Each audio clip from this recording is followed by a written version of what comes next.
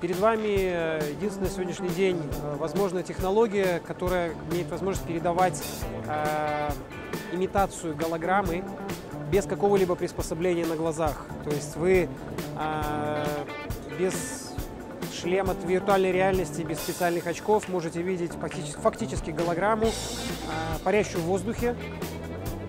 Такого эффекта мы добиваемся с помощью собственно разработанной технологии, которую придумали там порядка пяти лет назад и сегодня уже реализовали, и это уже промышленный образец, который продается сегодня нашей компании в 80 странах мира. В парке высоких технологий у нас находится свой офис разработки. Это уже больше 90 человек в Беларуси.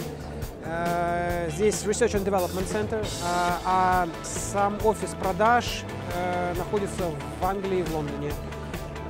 И производство локализовано тоже в Европе, потому что наша цель не только рынок Беларуси или соседних государств, но это весь мир.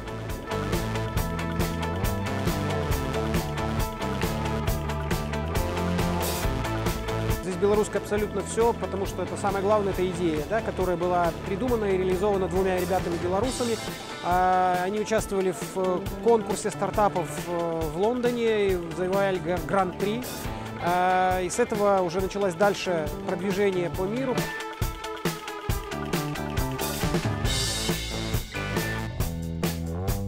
Выставка ТИВА, безусловно, является интересным проектом, и, потому что здесь это единственное место, где можно продемонстрировать какие-то э, научно-технические достижения, которые в сегодняшний день есть. И для нас, как для компании международной, в том числе интересно показать, что э, белорусский интеллект, он э, достаточно высоком уровне находится, и все это придумано и реализовано здесь белорусскими специалистами э, для мира, и это беспрецедентная технология для мира, которая сегодняшний день пользуется большим спросом.